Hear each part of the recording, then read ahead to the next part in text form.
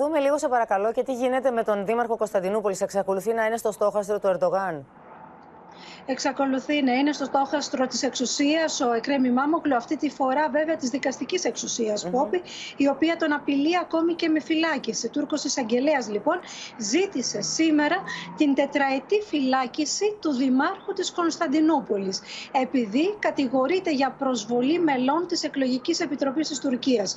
Όταν το 2019, να θυμίσουμε, ακυρώθηκαν οι δημοτικές εκλογές στην Κωνσταντινούπολη, ο Εκρέμι Μάμοκλου είχε πει τότε αυτή που ακύρωσαν τις εκλογές είναι ανόητη.